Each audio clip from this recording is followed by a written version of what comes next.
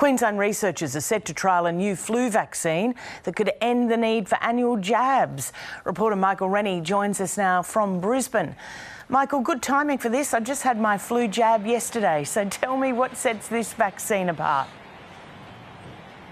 Yes, uh, Lisa, well, it is good timing. It could mean uh, in the future that you may only need to do this, get that flu shot that you just had uh, once every few years because uh, that's the, the, hope with this uh, universal vaccine. And it's hoped that with that process of only having to do it every few years, it could mean a lot more people actually take up getting the flu vaccine. But how it will work uh, when you look at conventional uh, vaccines for the flu at the moment, they need to be constantly changed and uh, modified because of uh, mutations. Uh, but what this universal vaccine will do is actually target those parts of the, the flu which are less susceptible to mutations that are more stable parts of that of the, the flu. So uh, that will uh, certainly change things uh, when it comes to getting the um, the flu shot if it does uh, end up uh, being successful. So a trial will go ahead that will involve the uh, the universal vaccine, also a conventional